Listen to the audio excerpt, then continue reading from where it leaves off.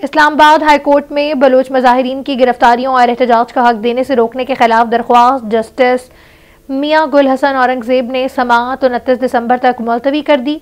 अदालत का SSP operation को चौंतीस गिरफ़्तार बलोच मजाहरीन का आज ही परेड शनाख्त करने का हुक्म। आज आप परेड शनाख्त करें और ये उनकी ज़मानतों की दरख्वास्तें दायर करेंगे। क्या आपने ऑर्डर दिया है कि उनके साथ सख्ती से निपटा जाए? अदालत का एसएसपी ऑपरेशन से इस्तफसार। किसी को आप गोद में बिठाते हैं, किसी के साथ ये सलूक करते हैं।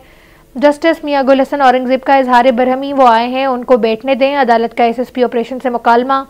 उनको निकाल दें, वैसे ही आपने एक तरीक़ाकार यही बनाया है एसएसपी ऑपरेशन साहब, अगर आपके हाथ बंधे हुए हैं तो सेक्रेटरी दाखिला को बुला लेते हैं।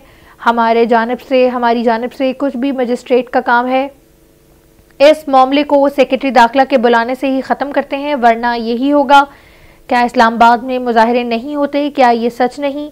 क्या बलोच मुजाहरीन ने कोई चीज़ तोड़ी थी? कोई एसएसपी ऑपरेशन साहेब फिर से कह रहा हूँ कि अगर आपके हाथ बंधे हुए हैं तो सेक्रेटरी दाखिला को बुला लेते हैं। अदालत ने कहा कि एसएसपी ऑपरेशन साहब, आप पढ़े लिखे हैं। जस्टिस मियाँ गुल हसन का औरंगज़ेब औरंगज़ेब का इस्तफसार। क्या आपको पता है कि अंग्रेज़ ने पंजाबी पठान बलोच या सिंधी के बारे में क्या कहा था? इसी पर मजीद तफसला जानते हैं नुमाइंदा कैपिटल टीवी शाहजेब मलिक से।